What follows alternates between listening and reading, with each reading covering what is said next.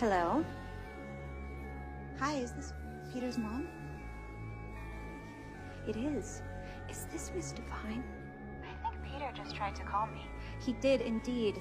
Peter was just telling me how dearly he misses his teacher, and so I said, Peter, just give her a ring. Tell her yourself. But unfortunately, his shy streak seems to have gotten the best of him. He's like a little blushing bride over here. It's so cute. Next time, I suppose. so sorry to have bothered you. Have a happy Halloween. That